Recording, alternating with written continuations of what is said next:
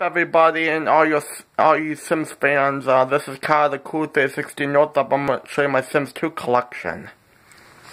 Let's get on with it. I gotta make it quick. Sims 2 Happy Happy Holiday Stuff pack. Can be Santa and yeah. Sims 2 Glamour Life stuff. Get these out of the way. Sims 2 University Life Collection. Sims 2 Bon Voyage. Sims 2 Seasons. Sim Sims 2 Best of Business Collection. The Sims 2 Apartment Life. You can have apartments.